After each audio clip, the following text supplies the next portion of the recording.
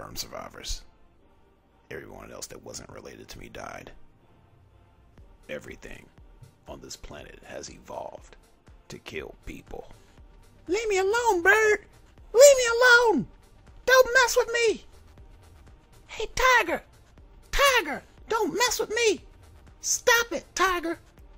Don't bother me, Tiger! Don't bother me at all! Start attacking me for no reason! The temperatures on this planet fluctuate dangerously. Ugh, it's really cold. Wait, I'll just put on my jacket. But if we're going to survive this, you must realize fear is not real. Now, don't get me wrong, the danger is real. I mean, it hurts. Hurts a lot. Have you ever got shot in the leg? That hurts. Like, worst pain in the world. My leg is broken. I won't be able to do anything at all through this entire movie. At all. It's all relying on you, son. It is up to you to carry this movie by yourself.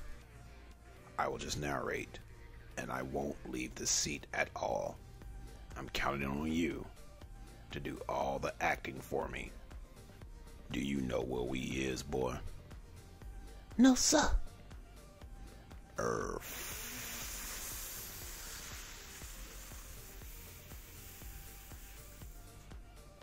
There's an emergency beacon 100 kilometers from here. You must retrieve the beacon. Oh, he's gonna die? Oh, he's gonna die. Kitai, you're acting too stupid. Abort the mission. You wouldn't give any other ranger that order? You're not a ranger. You're my son. You can do it, Kitai. Are you daydreaming about your dead sister again? Stop it. We already know she's dead. It's not a twist. She wasn't at the beginning of the movie, so where would she be now? Just making my mission not boring, sir. 60 years ago, Earth was attacked. We won the war, but they destroyed half the planet. Everyone's been evacuated. Nothing human remains. Well, obviously, because I'm not a human. We're here for drone repair. Even though they kill us at any sudden movements. Easy, easy, easy. Just trying to repair you. We're the mop up crew. Gotta sweep all of this. I'll take it from here, Wally. You! You're the one who set off the beacon! Who goes there? Who are you? Back away! Back away! There's no people on this planet! I'm the only one! Back away! Back away! Back! Back! Back! Back! You have to help me. My dad and I, we crashed on this planet.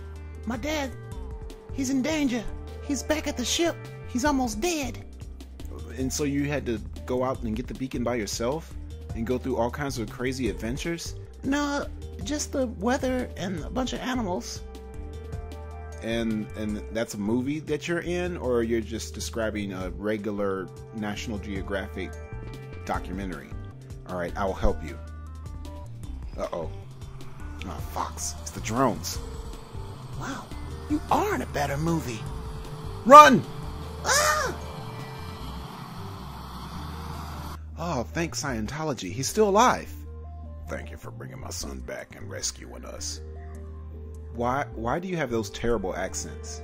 You know, you could just talk normal. I mean, it's a sci-fi. You want to define all this extra background stuff that nobody cares about. Well, who do I thank for saving my life? My name is Jack Reacher. I mean, uh, Jack, um, Jack Foxer. Yes. I'm Cypher Raige. Really? Wow, did you write this movie? How'd you know? Dad, I don't want to be an actor anymore.